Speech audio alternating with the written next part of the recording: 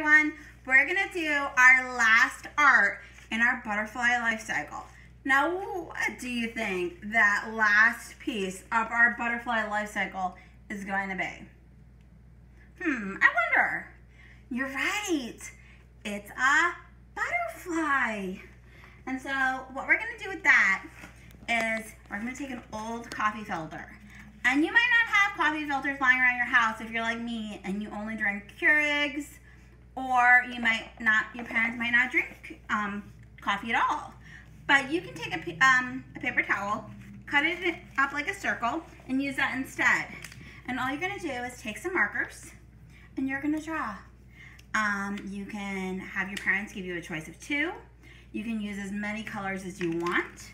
So I'm gonna draw a flower. I'm gonna draw some letters. A, D, E. You could write your name. I'm gonna use a different color. Another flower on the outside. Another flower.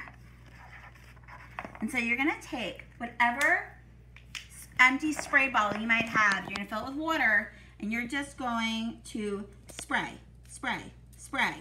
And you're gonna spray until it's wet like this. And you see how all the colors start to run? And so you can either take a, you can take a clothespin, you can take a pipe cleaner so it has a nice antenna. I don't have a pipe cleaner. So I'm just gonna use a clothespin because that's what I have.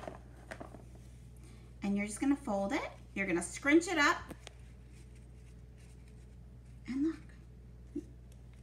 beautiful butterfly. So you can do these at home with your mom and dad. You might need to get some help. Are you ready to help them? Yes? Okay, I'll see you soon. Bye, everyone.